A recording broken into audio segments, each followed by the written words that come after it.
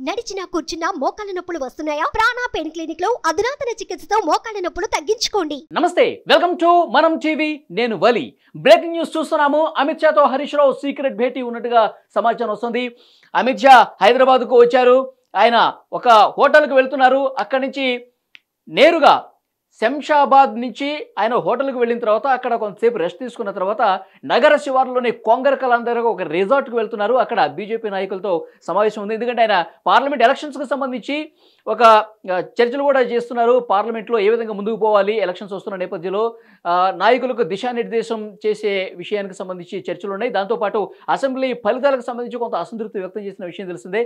Assembly ఫలితాలకు సంబంధించి కూడా నాయకులతో మాట్లాడి ఎక్కడ లోపం జరిగింది ఈ తక్కువ సీట్లు రావడానికి కారణం ఏంటి కొంత విశ్లేషించే ప్రయత్నం జరుగుతుంది. దీంతో పాటు రాష్ట్ర మాజీ మంత్రిగా ఉన్నటువంటి బీఆర్ఎస్ సీనియర్ నాయకులు హరీష్ రావుతో కూడా ఒక సీక్రెట్ భేటీ ఉండే అవకాశం ఉన్నట్టుగా ఒక సమాచారం వస్తుంది. అదే రిజార్ట్లో కలుస్తారా? లేకపోతే వేరొక హోటల్లో కలిసే అవకాశం ఉందన్నది కొంత క్లారిటీ రావాల్సిన విషయం అయితే ఉంది. మొత్తానికి హరీష్ రావు అమిత్ షాతో భేటీ అయ్యి బీజేపీలో చేరే విషయానికి సంబంధించి కొంత లోతుగా డిస్కషన్ జరిగే అవకాశం అయితే కనిపిస్తుంది. తనతో పాటు ఇరవై మంది ఎమ్మెల్యేలు ఉన్నారు. వాళ్ళందరూ కూడా నేను బీజేపీలో జాయిన్ అయితే వాళ్ళు కూడా జాయిన్ కావడానికి సిద్ధంగా ఉన్నారు. ఈ ఇన్ఫర్మేషన్ గత కొన్ని రోజులుగా బీజేపీకి అలాగే హరీష్ రావుకు చర్చలు జరుగుతున్నట్టుగా తెలుస్తోంది. అమిత్ షా ఇవాళ హైదరాబాద్ వచ్చిన నేపథ్యంలో నేరుగా కలిసి మాట్లాడన్న ఒక ఆలోచనలో హరీష్ రావు ఉన్నట్టుగా తెలుస్తోంది. దీన్ని కొంత విశ్లేషించే ప్రయత్నం చేద్దాం.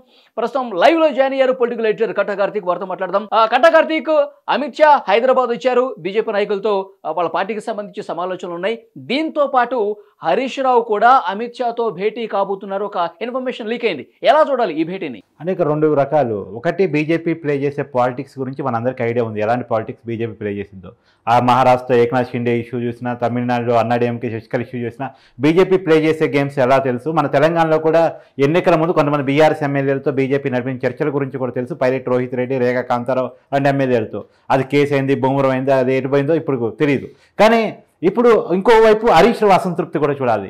హరీష్ రావుకి కేటీఆర్కి మధ్య అపోజిషన్ లీడర్గా ఎవరు ఉండాలని కానీ పెద్ద గొడవ నడిచింది ఆ విషయాన్ని మనమే బయటపెట్టాం ఈసారి అపోజిషన్ లీడర్గా ఉండడానికి కేసీఆర్ నిరాకరించారు. రేవంత్ రెడ్డితో సమానంగా అపోజిషన్ లీడర్గా కూర్చోవడానికి కేసీఆర్ గారు ఇబ్బంది పడుతూ కేటీఆర్ని ఎక్స్పోజ్ చేద్దాం కేటీఆర్ని అపోజిషన్ లీడర్గా పెడదాం అన్నప్పుడు రేవంత్ మన హరీష్ రావు గారు ఎదురు తిరిగారు నేను గాజులు దొడుక్కున్నానా? అని చెప్పేసి ఎదురు తిరిగిన విషయం మనమే చెప్పాం తర్వాత మెయిన్ మీడియా కూడా చెప్పింది మనం చెప్పిన తర్వాత. అయితే ఇక్కడ విషయం హరి హరీష్ రావు ఆ అపోజిషన్ లీడర్ దక్కకపోవటం మీద చాలా అసంతృప్తిగా ఉన్నారు వాస్తవానికి. చాలా సీరియస్ నాయకుడు నేను. కేటీఆర్ కోసం నాకు అపోజిషన్ లీడర్ ఇవ్వరా అనేటు కాడ వర్కింగ్ ప్రెసిడెంట్ ఆయనకి ఇచ్చినప్పుడు అపోజిషన్ లీడర్ ఇవ్వటం నాకేంటి అభ్యంతరం అనేటువంటి దాంట్లో అసలు హరీష్ రావు ఉన్నారు. హరీష్ రావుకి కొ- సొంత ఎమ్మెల్యేలు అంటూ ఉన్నారు సొంత వర్గం అంటూ ఉంది వాస్తవానికి. దానం నాగేందర్ కానీ కడియం శ్రీహర్ కానీ వీరంతా హరీష్ రావుతో టచ్లో ఉన్నారు. హరీష్ రావు ఏ రకమైనటువంటి రాజకీయ స్టెప్ తీసుకున్నా హరీష్ రావుతో మేము వెళ్ళడానికి సిద్ధం అని చెప్పేసి. ఎందుకంటే నెక్స్ట్ బీఆర్ఎస్ని కాపాడగలిగేటువంటి అంటే ఒక పొలిటికల్ చూపించగలిగినటువంటి పరిస్థితి హరీష్ రావుకే ఉంటుంది అనేటువంటిది వీళ్ళందరి నమ్మకం. రెండు వీళ్ళందరి మీద ఉన్నటువంటి కేసులు తప్పించుకోవాలన్నా కానీ బీజేపీ ఒక సేఫ్ గేమ్ సేఫ్ జోన్ అని చెప్పేసి కూడా వాళ్ళంతా అనుకుంటున్నారు. అయితే మీరు ఇందాకన్న పదంలో నాకు ఒక చిన్నపాటి కన్ఫ్యూజన్ ఉంది. ఈ సీక్రెట్ భేటీనా కాదా అనేటువంటి కాదు ఒక అంటే జరిగే సీక్రెట్ కానీ కానీ కేసీఆర్ జరి తెలిసే జరుగుతుందా తెలియకుండా జరుగుతుందా కానీ చిన్నపాటి కన్ఫ్యూజన్ ఉంది. ఎందుకు ఆ మాట నేను చెప్తున్నానంటే మీరు నిన్న రేవంత్ రెడ్డి గారి స్పీచ్ కూడా చూసే ఉంటారు. ప్రాజెక్టు మీద గతంలో జరిగినటువంటి విషయాల మీద అంటే కాళేశ్వరం ప్రాజెక్టు కానీ విద్యుత్ అవినీతి కానీ వీటన్నిటి మీద ఎంక్వైరీ వేయబోతున్నాం సిట్టింగ్ జడ్జితో విచారణ వేయబోతున్నాం దానికి కట్టుబడి ఉన్నామని చెప్పేసి మరొకసారి చెప్పారు వాస్తవానికి. సో ఈ ఎంక్వైరీ అంటూ జరిగితే ఖచ్చితంగా వీళ్ళ అవినీతి బయటకంటూ వస్తే ఖచ్చితంగా వీళ్ళు జైలుకు పోక తప్పని పరిస్థితి ఉంటుంది. ఈ కేసులు తప్పించుకోవాలంటే బీజేపీతో స్నేహపూర్వకమైనటువంటి పరిస్థితి ఉండడం అనేది అవసరం. కానీ ప- దాకా పొలిటికల్గా బీజేపీతో గట్టిగా ఫైట్ చేసినటువంటి కేసీఆర్ ఈ రోజుకి ఈ రోజు బీజేపీతో స్నేహపూర్వకంగా పోతే జనం నుంచి చిరత్కారాలు వచ్చే అవకాశం ఉంది ఎంపీ పార్లమెంట్ ఎలక్షన్స్కి కాబట్టి పార్లమెంట్ ఎలక్షన్స్కి త్రూ హరీష్ రావు బీజేపీతో స్నేహ సంబంధాలు ఏర్పరచుకుంటే ఎలా ఉంటుందని చెప్పేసి కేసీఆర్ ప్లాన్కి హరీష్ రావుని బీజేపీ పంపిస్తున్నారా? లేదు నిజంగానే హరీష్ రావు తిరుగుబాటు చేస్తూ ఎమ్మెల్యేలతో బీజేపీ వెళ్తున్నారా అనేటువంటిది ఒక కన్ఫ్యూజన్ అయితే ఉంది. అయితే మొన్న జరిగినటువంటి అసెంబ్లీ సమావేశాల్లో కట్ట రాజగోపాల్ రెడ్డి హరీష్ రావు ఒక మాట ఉన్నారు నువ్వు ఎంత లేచినా నువ్వు ఎంత గొంతు చించుకొని మాట్లాడినా కేసీఆర్ తర్వాత కేటీఆరే నీకు అసలు గుర్తింపే లేదు కూర్చో అని చెప్పి రాజగోపాల్ రెడ్డి హరీష్ రావు కౌంటర్ ఇచ్చిన విషయం తెలిసిందే. ఇప్పుడు ఇంతకుముందు మనం మనం కూడా డిస్కస్ చేసుకున్నాము హరీష్ రావు కేటీఆర్ మధ్య విభేదాలు తారాస్థాయికి చేరిపోయాయి. అని చెప్పి. సో అంటే ఈ భేటీని నిజంగా తిరుగుబాటు చేసే భేటీగానే చాలా మంది చూస్తున్న పరిస్థితి కనిపిస్తుంది. ఏమంటారు? అయితే ఇక్కడ ఒకటి ఇంకా అది మాత్రమే కాదు మీకు కోమరెడ్డి వెంకరెడ్డి వ్యాఖ్యలు కూడా రాజగోపాల్ రెడ్డి వ్యాఖ్యలు మీరు ఉద్ధరించారు. కోమరెడ్డి వెంకరెడ్డి వ్యాఖ్యలు కూడా అదే అసెంబ్లీలో తీసుకోండి. ఆయన పీసీ ప్రెసిడెంట్ పాతిక లక్షలు ఇచ్చి కొన్నారని చెప్పేసి హరీష్ రావు గారు కామెంట్ చేసినప్పుడు మా పాత కామెంట్స్ గుర్తు చేస్తావు మొన్న మీ బావ బామర్తుల మధ్య గొడవని నా అసెంబ్లీ చక్కగా చెప్పమంటూ అనేసరికి హరీష్ రావు గారు కూర్చున్నారు. కాముగా నోరు మూసుకొని కూర్చున్నారు ఆయన వాస్తవానికి. అంతా మనం చూసాం. కాబట్టి నేను చెప్పేది ఏంటంటే వాస్తవంగా వాళ్ళ మధ్య జరిగిన కొట్లాట ఆ రోజు జరిగిన గలాట మనందరం తెలుసు వాస్తవానికి. కాబట్టి హరీష్ రావు ఒక తిరుగుబాబుట ఎగరేస్తున్నారా? కాదు అది పార్లమెంట్ ఎలక్షన్ ముందా తర్వాత అన్నటువంటి చిన్నపాటి కన్ఫ్యూజన్ ఉంది ఎందుకంటే ముందే బీఆర్ఎస్ పార్టీని కనుక చీల్చి బీజేపీ బీఆర్ఎస్ ఎమ్మెల్యేని రాక్కుంటే ఇరవై మంది ఎమ్మెల్యేలు హరీష్ రావు నాయకత్వంలో వెళ్ళిపోతే అదేమన్నా పార్లమెంట్ ఎలక్షన్ మీద నెగిటివ్ ఇంపాక్ట్ పడే అవకాశం ఉందా అన్నటువంటి కూడా బీజేపీ పరిశీలిస్తుంది. ఎందుకంటే మీ అందరికీ తెలుసు రాజకీయ ఉద్దందుడు అమిత్ షా వాస్తవానికి. పార్టీని ఎలా గెలిపించారు ఏ పాచికలు పడితే పార్టీ గెలుస్తుందనేటువంటిది వాస్తవంగా అమిత్ షానే తెలంగాణ పార్లమెంట్కి ఇన్ఛార్జ్ అమిత్ షానే డైరెక్ట్గా ఇన్ఛార్జిగా వచ్చిన తర్వాత రాజకీయాలు ఏ రకంగా ఉంటాయో చెప్పనవసరం లేదు కొత్తగా. హరీష్ రావు ముందు తీసుకుంటే మంచిదా పార్లమెంట్ ఎలక్షన్ తర్వాత తీసుకుంటే మంచిదా అనక మీమాంస నడుస్తుంది. ఎందుకంటే హరీష్ రావు గారు ముందు రెండు ప్రపోజల్స్ ఉన్నాయి. పార్లమెంట్ ఎలక్షన్స్కి ముందు ఇండైరెక్ట్ సహకరించడం బీజేపీ అభ్యర్థుల గెలుపు కోసం బీఆర్ఎస్ ఎమ్మెల్యేలు ఎవరైతే హరీష్ రావు వర్గం ఉన్నారో వాళ్ళంతా సహకరించడం ఎన్నికలు అయిపోయిన వెంటనే బీజేపీలో అఫీషియల్గా చేరి అపోజిషన్ లీడర్ తీసుకోవటం. ఇప్పటికీ అపోయి బీజే బీజేపీ ఎల్పీ లీడర్ని ఎన్నుకోలేదు బీజేపీ పార్టీ. ఇంతవరకు కేటాయించలేదు వాళ్ళు. కాబట్టి ఆ పోస్ట్ ఖాళీగా ఉంది. ఇరవై మంది ఎమ్మెల్యేలతో కనుక హరీష్ రావు గారు బీజేపీలోకి వెళ్తే ఇరవై పార్టీకి ఉన్న ఎనిమిది ఇరవై ఎనిమిది మంది ఎమ్మెల్యేలు అయ్యే అవకాశం ఉంది. సో అంటే ఇరవై మంది ఎమ్మెల్యే. ఒకవైపు బీఆర్ఎస్ ఎమ్మెల్యేలో ముప్పై తొమ్మిది మంది గెలిచారు. బీఆర్ఎస్ ఎమ్మెల్యేలో ఇరవై మంది పంతొమ్మిది పంతొమ్మిది పడిపోయే అవకాశం ఉంది. కాబట్టి ఇరవై మంది ఎమ్మెల్యేలు మెజర్ మేజర్ పార్టీగా అపోజిషన్ పార్టీగా బీజేపీ ఉండే అవకాశం ఉంది. అపోజిషన్ లీడర్ ఛాన్స్ ఖచ్చితంగా బీజేపీకి వచ్చే అవకాశం ఉంది. అది హరీష్ రావు గారు అయ్యే అవకాశం ఉంది. కాబట్టి దీన్ని మనం కొట్టిపడేదాం వాస్తవానికి హరీష్ రావు గారి అసంతృప్తి ఈ వార్తలకి నిజాన్ని చూకరుస్తుంది. అమిత్ షా గారి రాజకీయం ఈ వార్తలకి నిజాన్ని చేకూరుస్తుంది. తర్వాత మొన్న జరిగిన గలాట ఏదైతే ఉందో ఆ గలాట కూడా ఈ వార్తలకు ఊతమిస్తుంది. కాబట్టి మనం చెప్పుకునేది ఏంటంటే ఇప్పుడు కొంతమంది ఎమ్మెల్యేల పేరు కూడా మనం చెప్పగలం. దాన నాగేందర్ కడియం శ్రీహరి ఇలా కొంతమంది ఎమ్మెల్యేలు. ఖచ్చితంగా హరీష్ రావు గారు ఏ పొలిటికల్ స్టెప్ తీసుకున్నా ఆ స్టెప్ వైపు వెళ్తారని కటకర్తికి ఇప్పుడు బీఆర్ఎస్ని లేకుండా చేయాలనే ఉద్దేశంగా ఏమైనా కనిపిస్తుంది ఎందుకంటే ఎక్కడైనా సరే రాష్ట్రాల్లో బలపడాలంటే కనుక ప్రాంతీయ పార్టీ ఉంటే భారతీయ జనతా పార్టీకి స్కోప్ ఉండదు. ఇప్పుడు కాంగ్రెస్ పార్టీ అధికారంలో ఉంది. భారతీయ జనతా పార్టీ ప్రతిపక్షంగా ఉంటే ఈజీగా బీఆర్ఎస్ని మింగేస్తేనే మనకి ఇక్కడ భవిష్యత్తు ఉంటుందని భావించే ఈ రకమైన ప్రయత్నం చేసింది అనుకోవచ్చా ఎస్ మీరు చెప్పింది చాలా వ్యాలిడ్ పాయింట్ ప్ర- ప్రాంతీయ పార్టీలు ఉంటే తనకి ఇబ్బందికరం కానీ ప్రాంతీయ పార్టీని తినేయాలనేటువంటిది బీజేపీ వ్యూహం. ప్రాంతీయ పార్టీలు లేకుండా ఉంటే ఒక్క కాంగ్రెస్తో ఫైట్ చేసే అవకాశం ఉంటే కాంగ్రెస్ని కొట్టడం వాళ్ళకి ఈజీ అనేటువంటిది వాళ్ళ పొలిటికల్ లైన్ వాస్తవానికి. వాళ్ళ గత ఉదాహరణలు కూడా అవే తెలుస్తున్నాయి.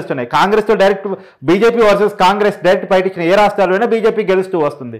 కాకపో కాబట్టి ఇంకోటి ఏంటంటే సౌత్లో వాళ్ళకి బలం తగ్గుతూ వస్తుంది. వాస్తవంగా దేశవ్యాప్తంగా వాళ్ళకి బలం పెరుగుతూ వస్తున్నా సౌత్లో తగ్గుతూ వస్తుంది. ఇప్పుడు తెలంగాణ మీద వాళ్ళు చాలా హోప్స్ పెట్టుకున్నారు. కానీ ఫలితాలు ఆశాజనకంగా రాలేదు. ఉన్న అధికారంలో ఉన్న కర్ణాటకలో వాళ్ళు ఓడిపోయారు. ఒకవైపు తమిళనాడులో చూస్తే బీజేపీకి ఎక్కువ స్కోప్ లేదు. అక్కడ డిఎంకే పార్టీ కాంగ్రెస్ అలయన్స్లో అధికారంలో ఉంది. ఏపీలోనూ ఆ బీజేపీ పార్టీకి ఏమీ లేదు. కేరళలో కాంగ్రెస్ వర్సెస్ కమ్యూనిస్టులు పోట్లాడి నడుస్తుంది. బీజేపీకి అక్కడ ఎటువంటి స్థానం లేదు. కాబట్టి సౌత్లో పెదగరైపోతుంది.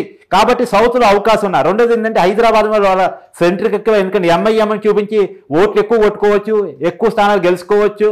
రెండోది ఏంటంటే హైదరాబాద్ అనేటువంటిది దేశానికే సెంట్రల్ ఆఫ్ ఇండియా అని చెప్పుకుంటారు. రెండో రెండో దేశ రాజధాని అని చెప్పుకుంటారు. కాబట్టి హైదరాబాద్లో పాగా వేయటం తెలంగాణలో పాగా వేయటం వాళ్ళు చాలా కీలకంగా భావిస్తున్నారు. రెండోది. మొన్ననే వాళ్ళు కర్ణాటకలో వాళ్ళ అధికారంలో ఉన్న రాష్ట్రాన్ని కోల్పోవటం వల్ల అక్కడ ఎక్కువ ఎంపీ స్థానాలు రావు. ఆ ఎంపీ స్థానాన్ని తెలంగాణలో తెచ్చుకోగలగాలి. ఖచ్చితంగా పోయినసారి ఒక్క ఎమ్మెల్యేనే వస్తే పోయినసారి రెండు వేల పద్దెనిమిది ఎన్నికల్లో రాజాసింగ్ ఒక్కలే గెలిచారు. కానీ పార్లమెంట్ ఎలక్షన్స్కి వచ్చేసరికి నాలుగు పార్లమెంట్ ఎలక్షన్స్ నాలుగు పార్లమెంట్ స్థానాలు గెలిచారు. కానీ ఈసారి ఎనిమిది మంది ఎమ్మెల్యేలు గెలిచారు. ఖచ్చితంగా మొత్తం పది కనీసం పది ఎంపీ స్థానాలు తెలంగాణ నుంచి గెలవాలని చెప్పేసి బీజేపీ టార్గెట్గా పెట్టుకుంది. కానీ బలం చూసినప్పుడు ఆ రకంగా లేదు. కాబట్టి ఏదో రకమైనటువంటి రాజకీయ పాచికలు పన్నాలి అనేటువంటి కారణంతో వాళ్ళకి ఎరేస్తే దొరికిన చేప హరీష్ రావు. కార్తీక్ ఇప్పుడు హరీష్ రావు భారతీయ జనతా పార్టీలోకి వెళ్తే కొంతమంది ఎమ్మెల్యేలు కూడా బీఆర్ఎస్ నుంచి లాగేస్తే ఆయన ఉత్తగానే వెళ్ళరు కదా. కొంత మంచి గట్టి హామీతోనే ఆయన భారతీయ జనతా పార్టీలోకి వెళ్ళే అవకాశం ఉంది కదా. బీజేపీ ఫ్లోర్ లీడర్తో పాటు నెక్స్ట్ అధ్యక్ష పదవి కూడా హరీష్ రావుకి ఇచ్చే అవకాశం కనిపిస్తుందా? ఆ తర్వాత అధికారంలోకి వస్తే ముఖ్యమంత్రి పదవి కూడా ఆయనే వరించే అవకాశం కనిపిస్తా ఈ రకమైనటువంటి బలమైన హామీలతోనే ఆయన వెళ్ళే అవకాశం ఉందా? అంటే పార్టీ ప్రెసిడెంట్ అని మనం చెప్పడం కానీ ఖచ్చితంగా అపోజిషన్ లీడర్ నెక్స్ట్ ముఖ్యమంత్రి ప్రొజెక్షన్ మాత్రం హరీష్ రావు కోరుకుంటారు. ఇప్పుడు బీఆర్ఎస్లో ఎంతకాలం ఉన్నా ఆయన ముఖ్యమంత్రి పదవి దక్కదు అనేటువంటిది ఆయనకి పిక్చర్ క్లియర్ అయిపోయింది. పార్టీ వర్కింగ్ ప్రెసిడెంట్గా ఆయనకి ఇవ్వలేదు తర్వాత అపోజిషన్ లీడర్గా ఆయన ఇవ్వలేదు. హరీష్ రావు గారు పెట్టిన ప్రపోజల్ ఏంది బీఆర్ఎస్లో అంటే పార్టీ వర్కింగ్ ప్రెసిడెంట్గా కేటీఆర్ ఉన్నారు. అంటే working president nothing but president ఆయన కేటీఆర్ కన్సర్న్లోనే పార్టీ నడుస్తుంది. కాబట్టి అపోజిషన్ లీడర్ అంటే టీఆర్ బీఆర్ఎస్ఎల్పీ లీడర్గా నన్ను ప్రొజెక్ట్ చేయండి నాకు ఇవ్వండి అని చెప్పేసి హరీష్ రావు అడిగారు. అంటే ఒక పోస్టు తనకి ఇచ్చారు కాబట్టి ఇంకో పోస్ట్ తనకి ఇవ్వండి అని చెప్పేసి. కానీ దానికి కూడా కేసీఆర్ సస్యమేరా అన్నారు ఆ ఇద్దరి మధ్య జరిగిన గొడవల నుంచి కేసీఆర్ అపోజిషన్ లీడర్గా ఉంటూ వచ్చారు. డిప్యూటీ లీడర్గా కడియం శ్రీయన్ని మన పల్లా రాజేశ్వర రెడ్డిని పెట్టడం జరిగింది వాస్తవానికి. సో ఇదంతా జరిగినటువంటి విషయంలో నుంచి హరీష్ రావు చాలా అసంతృప్తికి గురయ్యారు. తన పొలిటికల్ లైఫ్ వేరేగా చూసుకోవాలి అనుకున్నారు. రెండోది ఏంటంటే. ఇప్పుడు కాంగ్రెస్ని కొట్టడం అనేటువంటిది హరీష్ రావుతో సాధ్యం అనేటువంటిది బీజేపీ బలంగా నమ్ముతుంది. గతంలో ఈటర్ రాజేంద్రని బలంగా నమ్మింది కానీ ఆయన శక్తి చాలదు అనేటువంటిది ఒక అంచనాకు వచ్చింది. సో బండి సంజయ్ని తప్పించడం కూడా ఒక తప్పు చేసినట్టుగా బీజేపీ భావిస్తుంది. ఇప్పుడు మనం వార్తలు చూస్తున్నాం బీజేపీకి బండి సంజయ్ని మళ్ళా తీసుకొచ్చి సారథిగా పెట్టే అవకాశం కనపడుతుంది ఒకవైపు బండి సంజయ్ని పార్టీ ప్రెసిడెంట్గా పెట్టి హరీష్ రావుని బీఆర్ఎస్ఎల్పీ లీడర్గా అపోజిషన్గా పెడితే నెక్స్ట్ ఖచ్చితంగా టూ థౌజండ్ ట్వంటీ నైన్ నాటికి తెలంగాణలో బీజేపీని అధికారం తీసుకురావడం పక్కా. ఎందుకంటే హరీష్ రావు చాలా గట్టి నాయకుడు తెలంగాణలో చాలా ప్రభావం ఉన్నటువంటి నాయకుడు చాలా ప్రజా లీడర్ వాస్తవానికి. సో ఇప్పటివరకు ఓటమి ఎరగని నాయకుడిగా హరీష్ రావుని చూస్తారు. ఇంకోవైపు బండి సంజయ్ మంచి హిందుత్వ భావజాలం తీసుకెళ్ళగలడు బీజేపీకి ఊపుని తీసుకురాగలడు కేటీఆర్ మా కేసీఆర్కి యాంటీగా జనాన్ని కోడీకరించడంలో కాంగ్రెస్ అనేది ఈ ఆరు నెలల కాలంలో ముందుకు వచ్చింది కానీ అంతకుముందు మొత్తం బీజేపీయే కదా. అయితే బీజేపీకి ఆ ఊపుని తీసుకురావడంలో బండి సంజయ్ సిద్ధాస్తుడు కాబట్టి వీళ్ళిద్దరిని ముందు పెట్టి two thousand twenty nine target పెట్టుకుంటే ఖచ్చితంగా నెక్స్ట్ టైంకి మనం బీజేపీని అధికారంలో తీసుకురాగలం కాంగ్రెస్ని కొట్టగలనేటువంటి ఒక అంచనా. వాళ్ళ ప్లానింగ్ ఎప్పుడు రాంగ్ రన్లో ఉంటుంది. షార్ట్ రన్లో ఉండదు బీజేపీది. రాంగ్ రన్లో ఉంటుంది. కాబట్టి ఈ లాంగ్ రన్ ప్లాన్ తోటి హరీష్ రావుతో వాళ్ళకి గాలం వేశారు వాళ్ళు దొరికిపోయారు. ఖచ్చితంగా ఇవాళ సీక్రెట్ భేటీ జరిగిపోతున్నట్టు మనకున్నటువంటి ఇన్ఫర్మేషన్ ఇప్పటికే ఒక ఒక దఫా చర్చలు ముగిసినట్టు హరీష్ రావు గారితో అమిత్ షా గారు ఫోన్లో మాట్లాడినట్టు మనకు అందుతున్నటువంటి సమాచారం. కాకపోతే నేరుగా కలిసి మాట్లాడబోతున్నారు. ఒక పిక్చర్ క్లియర్ అయ్యే అవకాశం కాకపోతే అది పార్లమెంట్ ఎలక్షన్ కంటే ముందా తర్వాత అని కానీ చిన్నపాటి కన్ఫ్యూజన్ ఉంది దానికి రాజకీయ సమీకరణాలు లెక్కల ఆధారంగా మాత్రమే డెసిషన్ తీసుకుంటారు. ఈ డెసిషన్ మొత్తం అమిత్ షా గారు తీసుకుంటారు. ఎందుకంటే ఇంకా మధ్యలో మీడియేటర్స్ లేరు. ఎందుకంటే బీజేపీకి డైరెక్ట్గా పార్లమెంట్ ఎన్నికలకి తెలంగాణకి ఇన్ఛార్జిగా అమిత్ షా గారు వేయించుకోవడానికి కూడా కారణం ఇదే వాస్తవానికి. సో సౌత్ మనకి సౌత్ నార్త్లో ఖచ్చితంగా ఈసారి బీజేపీకి మన అయోధ్య రామాలయం తర్వాత మంచి ఊపు వచ్చే అవకాశం ఉంది.